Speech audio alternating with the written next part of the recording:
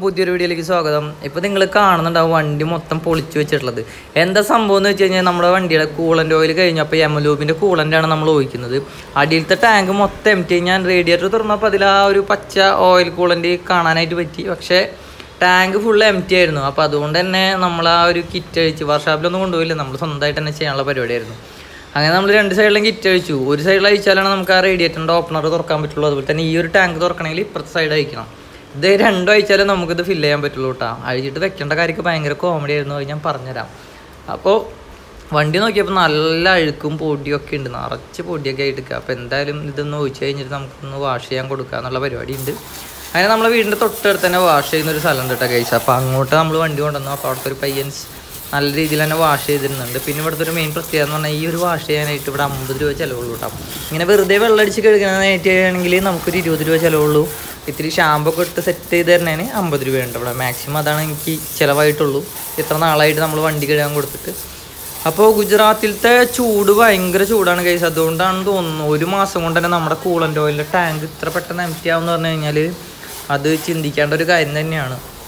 ഞാൻ എനിക്ക് പലപ്പോഴും തോന്നിയിട്ടുണ്ട് ആർ വൺ ഫൈവ് ഇവിടുത്തെ ഈ ഒരു ട്രാഫിക്കിൽ തീരെ ഷൂട്ടല്ല എന്നുള്ളത്. എന്താ വെച്ചാൽ ഭയങ്കര ട്രാഫിക്കാണ് എഞ്ചിനൊക്കെ പെട്ടെന്ന് ചൂടാവും. അതുപോലെ തന്നെ ആ റേഡിയേറ്ററിന്റെ വർക്കിംഗ് നമുക്ക് എപ്പോഴും അറിയാനായിട്ട് പറ്റും. വല്ല സിഗ്നലിലോ വല്ല ബ്ലോക്കിലൊക്കെ പെട്ട് കഴിഞ്ഞാൽ നല്ല രീതിയിൽ.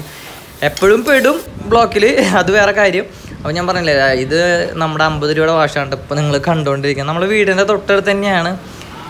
അപ്പോൾ വാഷ് ചെയ്ത് കഴിഞ്ഞ് നമുക്കൊന്ന് ബൈക്കിന്റെ പെർഫോമൻസ് ഒക്കെ നോക്കണം. എന്താ വെച്ചാൽ സർവീസ് കഴിഞ്ഞിട്ട് ഇപ്പോൾ ഒരു മാസമായി നമ്മൾ വണ്ടി നമ്മൾ ഇതുവരെ ഹൈവേയിൽ ഒന്നും നോക്കിയിട്ടില്ല ക്രൂസ് ചെയ്തൊന്നും നോക്കിയിട്ടില്ല. അപ്പോൾ അതിന്റെ പവറും കാര്യങ്ങൾക്കൊക്കെ എന്തെങ്കിലും മാറ്റം വന്നിട്ടുണ്ടോ എന്നുള്ളതൊക്കെ ഒന്ന് നോക്കണം. അപ്പോൾ നമ്മൾ നല്ല രീതിയിൽ തന്നെ സർവീസ് ചെയ്തു. നമ്മുടെ വണ്ടി ഇപ്പോൾ ഏകദേശം ഒരു എഴുപതിനായിരം കിലോമീറ്ററായി അഞ്ച് വർഷമായിട്ടോ നമ്മുടെ ഈ വണ്ടി നമ്മുടെ കൂടെ കൂടിയിട്ട് വി ത്രീ നമ്മൾ ഭയങ്കര ഹാപ്പിയാണ് ഇതിന്റെ സർവീസ് കോസ്റ്റ് ആയാലും അതുപോലെ തന്നെ മെയിന്റെനൻസ് ആയാലും നല്ല അടിപൊളിയായിട്ട് നമുക്ക് മാനേജ് ചെയ്യാൻ പറ്റാവുന്ന ഒരു പ്രീമിയം സെഗ്മെന്റ് ബൈക്കിനെ വെച്ച് നോക്കുമ്പോൾ നമുക്ക് എപ്പോഴും ഒരു കംഫർട്ട് തന്നെയാണ്. അതുപോലെ തന്നെ ഇതിന്റെ മൈലേജ് അത് എടുത്ത് പറയേണ്ട ഒരു കാര്യമാണ്. ഒരു സ്പോർട്സ് ബൈക്കിന് കിട്ടാവുന്നതിൽ കൂടുതൽ മൈലേജ് ഈ ഒരു വണ്ടിക്ക് കിട്ടുന്നുണ്ട്. അപ്പോൾ നമ്മൾ വീട്ടിൽ നിന്ന് ഇറങ്ങിയിട്ടുണ്ട്. ഇപ്പോൾ ഏകദേശം നമ്മൾ വീട്ടിൽ തൊട്ടടുത്തുള്ള സിഗ്നൽ തന്നെയാണ് കേട്ടോ നമ്മുടെ തൊട്ട് ജംഗ്ഷനിലുള്ള സിഗ്നലാണ് ഞാനിപ്പോൾ ഇവിടെ എന്താണ് പറയാൻ ഉദ്ദേശിക്കുന്നത് വെച്ച് കഴിഞ്ഞാൽ നമ്മുടെ ഈ ഒരു സിറ്റിയിലത്തെ അഹമ്മദാബാദ് സിറ്റിയിലത്തെ ഡ്രൈവിംഗ് കൾച്ചർ വളരെ മോശമാണ്. വളരെ മോശം എന്ന് പറയാൻ എന്താ കാരണം എന്ന് വെച്ച് കഴിഞ്ഞാൽ സിഗ്നൽ തീരെ ആരും ശ്രദ്ധിക്കില്ല. അതേപോലെ തന്നെ അവിടെ നിന്ന് ഇവിടെ നിന്നൊക്കെ സിഗ്നൽ ഓൺ ആണെങ്കിലും ഓഫ് ആണെങ്കിലും അവിടെ നിന്ന് ഇവിടെ നിന്നൊക്കെ വണ്ടികളൊക്കെ ഇപ്പോൾ ഒരു സിഗ്നൽ അപ്പുറത്ത് നിന്ന് ചാലായിട്ടുള്ളത്. ഇയാൾ പോകുന്നുണ്ടോ? ഒക്കെ റോങ് ആയിട്ട് കയറി പോകുന്നതാണ്. ഇനിയിപ്പോൾ നമ്മുടെ സിഗ്നൽ ഇപ്പോഴും വീട്ടിൽ റെഡാണ് അവിടെ കത്തിക്കൊണ്ടിരിക്കുന്നത്. പക്ഷേ എന്ന് പറഞ്ഞാലും ഇപ്പോൾ ഇവിടെ നിന്ന് ഇവിടെ നിന്നൊക്കെ വണ്ടികൾ കയറി പോകാനുള്ളൊരു ചാൻസ് വളരെ കൂടുതലാണ്. അതുപോലെ തന്നെ മൊബൈൽ ഇതാ പറഞ്ഞു തീർന്നപ്പോഴത്തേനും എന്താ ഒരു വണ്ടി പോയതാണ്ടോ അവിടുത്തെ സിഗ്നൽ വീഴുന്നുള്ളൂ. ഇവിടുത്തെ സിഗ്നൽ ഇപ്പോഴും റെഡ് സിഗ്നൽ തന്നെയാണ് കത്തുന്നത്. പിന്നെ മൊബൈലിന്റെ യൂസ് എന്ന് പറഞ്ഞു കഴിഞ്ഞാൽ ഡ്രൈവിംഗ് ചെയ്യുമ്പോഴാണ് ഇവർ ഏറ്റവും കൂടുതൽ കംഫർട്ട് എന്ന് തോന്നുന്നത് മൊബൈൽ യൂസ് ചെയ്യാനായിട്ട്. അത് ടൂ വീലർ ആയിക്കോട്ടെ ഫോർ വീലർ ആയിക്കോട്ടെ എന്തായാലും മൊബൈൽ ഇല്ലാതെ ഇവർക്ക് ഡ്രൈവ് ചെയ്യാൻ പറ്റില്ല എന്നുള്ള ചില സ്ഥലങ്ങളിൽ നമുക്ക് തോന്നിപ്പോകും. ഇപ്പോൾ ഇതാ ഈ സിഗ്നലിന്റെ ഇടയ്ക്ക് ഒരു റെഡ് ടീഷർട്ട് ഒരു പുള്ളി പോയതാണ്ടോ? റോങ് ആയിട്ട്. അപ്പോൾ അതൊന്നും നോക്കിയിട്ട് കാര്യമില്ല. ഇപ്പോഴും അവിടുത്തെ സിഗ്നൽ കഴിഞ്ഞില്ല അപ്പോഴത്തേനും ഇവിടുന്ന് വണ്ടികളൊക്കെ അവിടെ പോയി നിൽക്കാണ് കേട്ടോ ഇനിയിപ്പോൾ ഇവിടുത്തെ സിഗ്നൽ കഴിയുന്നുള്ളൂ. അതിന്റെ ഇടയിൽ ആ വണ്ടികൾ അവിടെ പോയി നിൽക്കുന്നുണ്ട് ഇവിടെ നിന്ന് ഒരാളും കൂടി പോയി നോക്കുന്നുണ്ട്. സിഗ്നൽ നമ്മളിപ്പോഴും വീണിട്ടില്ല സിഗ്നൽ അപ്പോൾ ഇവിടുത്തെ ഡ്രൈവിംഗ് കൾച്ചർ എന്ന് പറഞ്ഞു കഴിഞ്ഞാൽ ഇങ്ങനെയാണ് കേസ് വളരെ സൂക്ഷിച്ച് വണ്ടി ഓടിക്കണം. നമുക്ക് നല്ല എക്സ്പീരിയൻസ് ഉണ്ടെന്ന് പറഞ്ഞിട്ട് കാര്യമില്ല. നമ്മളെ ഭാഗം എത്ര ക്ലിയർ ആണെങ്കിലും നമ്മുടെ മേത്ത് വന്ന് കയറാനുള്ളവർ എന്തായാലും മേത്ത് വന്ന് കയറും അപ്പോൾ നമ്മൾ ആ ഒരു വിഷയം കൂടി നമ്മൾ നോക്കണം. അവിടെ നിന്നുള്ള വണ്ടി വന്ന് കയറാതിരിക്കാനുള്ള സേഫും കൂടി നമ്മൾ നോക്കണം. നമ്മുടെ നാട്ടിലൊക്കെ എന്ന് വെച്ച് കഴിഞ്ഞാൽ ഡ്രൈവിംഗ് കൾച്ചർ അടിപൊളിയാണ്. അതുപോലെ തന്നെ പോലീസിന്റെ നിരീക്ഷണവും കുറച്ച് കൂടുതലാണെന്നുള്ള അഭിപ്രായം ഉണ്ടെങ്കിലും പക്ഷേ അത് ഒരു വിധത്തിൽ ഇവിടെ ഒരു കൺട്രോളും ഇല്ല. അതുകൊണ്ടാണ് ഞാൻ പറയുന്നത് ഭയങ്കരമായിട്ട് ഡ്രൈവിങ്ങിനെ ഇവർ നല്ല രീതിയിൽ മിസ്യൂസ് ചെയ്യുന്നുണ്ട് ഈ ഒരു ഫ്രീഡത്തെ മൊബൈലാണ് ഭയങ്കര ഡേഞ്ചർ എത്ര തിരക്കുള്ള റോട്ടിലാണെങ്കിലും എത്ര തിരക്കില്ലാത്ത റോട്ടിലാണെങ്കിലും ബ്ലോക്ക് ആണെങ്കിലും എവിടെയാണെങ്കിലും ഇവർ മൊബൈൽ ബൈക്കിലൊക്കെ ആണെങ്കിൽ തലയ്ക്ക് തിരിച്ചു വെച്ച് സംസാരിച്ച് പോകുന്ന കാണാൻ പറ്റും. അതുകൊണ്ട് തന്നെ കാർ ഓടിക്കുമ്പോഴായാലും തല കുമ്പിട്ടിരുന്ന ഓടിക്കുന്നത് പലതവണ ഞാൻ കണ്ടിട്ടുണ്ട്. അപ്പോൾ നമ്മുടെ ഹൈവേയിൽ കയറി ഒന്ന് ക്രൂസ് ചെയ്ത് നോക്കാനുള്ള പരിപാടിയായിരുന്നു.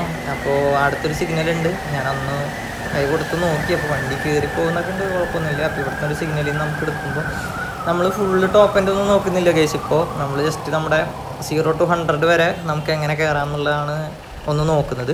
നമ്മൾ വണ്ടി ഫസ്റ്റ് ഗിയറിൽ തന്നെ നമുക്കൊരു ഫോർട്ടി ഫൈവിന് മുകളിലേക്ക് കയറും അതുപോലെ തന്നെ സെക്കൻഡ് ഗിയറിലും അത്യാവശ്യം ഒരു അറുപത്തി അഞ്ച് എഴുപത് ലെവലിൽ നമുക്ക് കയറിയിട്ടാണ് നമുക്ക് ഗിയർ ഷിഫ്റ്റിങ്ങിനുള്ള വാണിംഗ് ലൈറ്റ് കാണിക്കുള്ളൂ. അപ്പോൾ തന്നെ വി ബി എസ് സ്വിച്ചൊക്കെ ഓണാവുന്ന നമുക്ക് മീറ്റർ കൺസോളിൽ കാണാനായിട്ട് പറ്റും. പിന്നെ നമ്മളെ തേർഡ് ഗിയറിൽ നമ്മുടെ വണ്ടി നയന്റി എയ്റ്റ് വരെ പോകുന്നതാണ്. അത് കഴിഞ്ഞ് പിന്നെ ഫോർത്ത് ഗിയറിൽ നൂറ്റി പതിനേഴ് കിലോമീറ്റർ സ്പീഡിൽ നമ്മളെ വണ്ടി പോകും. അപ്പോഴാണ് നമുക്ക് ഗിയർ ഷിഫ്റ്റിങ്ങിന്റെ ആ ഒരു ലാഗ് അല്ലെങ്കിൽ ആ ഒരു കട്ട് ഓഫ് നമുക്ക് കാണിക്കുള്ളൂ. അപ്പോൾ അത് ഞാനിപ്പോൾ കാണിച്ചു അതിന് മുകളിലേക്ക് നമ്മൾ എന്തായാലും വണ്ടി എടുക്കുന്നില്ല. നമ്മൾ സേഫ്റ്റി ഗിയർ കാര്യങ്ങളൊന്നും ധരിച്ചിട്ടില്ല. പിന്നെ ഇപ്പോൾ സ്പീഡൊക്കെ ഭയങ്കരമായിട്ട് ലിമിറ്റാണ് ഈ ഹൈവേയിൽ ക്യാമറയും കാര്യങ്ങളൊന്നും ഇല്ല കേട്ടോ. സ്പീഡ് ലിമിറ്റ് നമുക്കിവിടെ നൂറ് എഴുതി വെച്ചിട്ടുണ്ട്. പക്ഷേ ക്യാമറ കാര്യങ്ങളില്ല. പക്ഷെ ഇവിടെ നല്ല സി സി ടി വി എല്ലാ പോസ്റ്റിലും സി സി ടി വി ഉണ്ട്. എങ്ങനെ എന്തെങ്കിലും ആക്സിഡന്റ് ആയിക്കഴിഞ്ഞാൽ കഴിഞ്ഞാൽ നമ്മൾ ഒന്ന് രണ്ട് കിലോമീറ്റർ മുന്നേ നമ്മൾ എങ്ങനെയാണോ വന്നതെന്നുള്ളത് അവർക്ക് കറക്റ്റായിട്ട് കാണാനായിട്ട് പറ്റും. അപ്പോൾ ഞാൻ ഇനീഷ്യൽ എടുത്താണ് ഇപ്പോൾ നിങ്ങൾ കണ്ടുകൊണ്ടിരിക്കുന്നത്. തേർഡ് ഗിയറിൽ നയന്റി എയ്റ്റ് കയറിയിട്ടുണ്ട് പിന്നെ ഫോർത്ത് ഗിയറിലാണ് ഇപ്പോൾ പോയിക്കൊണ്ടിരിക്കുന്നത്. അപ്പോൾ അത്യാവശ്യം നല്ല പുള്ളിങ്ങിലൊന്നും നമ്മുടെ വണ്ടിക്ക് ഒരു മാറ്റം വന്നിട്ടില്ല. സർവീസ് കഴിഞ്ഞിട്ട്. പിന്നെ ഈ ഒരു ആർ വൺ ഫൈവിന്റെ ഒരു പ്രത്യേകത എന്ന് പറഞ്ഞു കഴിഞ്ഞാൽ അതിന്റെ ആ ഒരു ഗിയർ ബോക്സ് തന്നെയാണ് കേട്ടോ അത് അളന്ന് കുറിച്ചുണ്ടാക്കിയ ഒരു ഗിയർ ബോക്സും ക്ലച്ചും തന്നെയാണ് ഈ ഒരു വണ്ടിക്ക് യമഹ കൊടുത്തേക്കുന്നത് തന്നെ.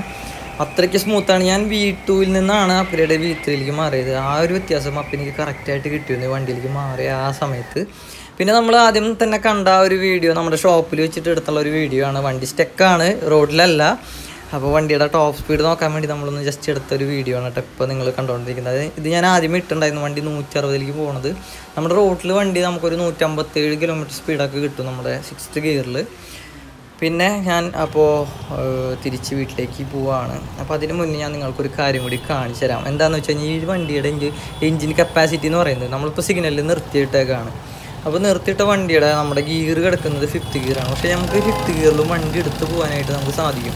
എന്താ വെച്ചാൽ സാധാരണ വണ്ടികളൊക്കെ ആണെങ്കിൽ സെക്കൻഡ് തീടൊക്കെ കിട്ടി കഴിഞ്ഞാൽ ചിലപ്പോൾ ഓഫായി പോകാനുള്ള സാധ്യതയുണ്ട്. പക്ഷേ യമഹയുടെ ഈ ആർ വൺ ഫൈവ് മോഡൽ നമുക്ക് ഏത് ഗിയറിൽ നിന്നും വണ്ടി എടുത്ത് പെട്ടെന്ന് എടുത്ത് പോകാനായിട്ട് നമുക്ക് പറ്റും. ചെറിയൊരു ലാഗ് ഉണ്ടാവും വണ്ടിക്ക് പക്ഷേ വണ്ടിക്ക് വളരെ ബുദ്ധിമുട്ടുള്ള ഒരു കാര്യമാണ് ഈ കാണിച്ചു തന്നത്. നിങ്ങൾ ആരും ഇത് ട്രൈ ചെയ്യരുത്. നമ്മളൊരു അത്യാവശ്യ ഘട്ടത്തിൽ വന്നു കഴിഞ്ഞാൽ വണ്ടി ഇങ്ങനെ എടുത്ത് പോകാൻ പറ്റും എന്നുള്ളത് കാണിച്ചു തരാൻ വേണ്ടി ചെയ്തെന്നുള്ളൂ കേട്ടോ ഇത് വണ്ടിക്ക് അത്ര നല്ല കാര്യമൊന്നുമല്ല. അപ്പോൾ എല്ലാവർക്കും അടുത്തൊരു വീഡിയോയിൽ കാണുന്നവരെ ബൈ ബൈ